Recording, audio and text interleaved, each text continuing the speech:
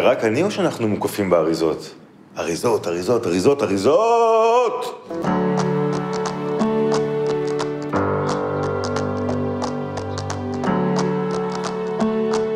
60% מהפסולת שאנחנו זורקים הן אריזות.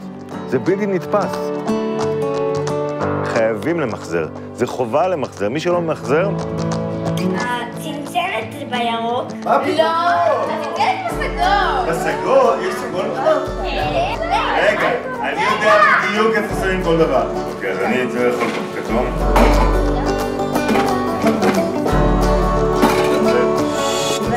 וזה בכחול. כל דבר שאתם רואים סביבכם נכנס למיכל, לאריזה. ובסופו של דבר צריך לעשות עם זה משהו.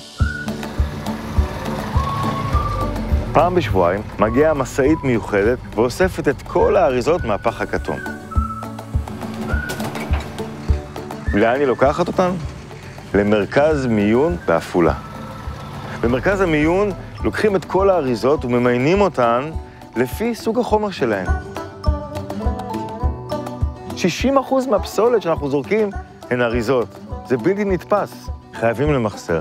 היום כל אחד, הוא חושב, פח כתום, והוא ממחזר.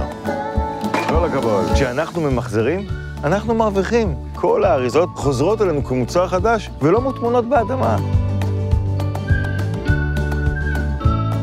להיות ישראלי ב-2018 בעמק יזרעאל זה להיות תושב ממחזר, פשוט כך.